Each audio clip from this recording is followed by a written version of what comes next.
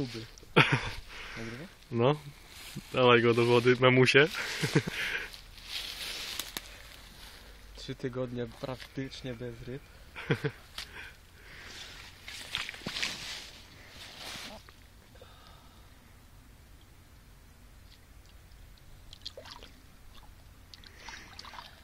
Poszedł.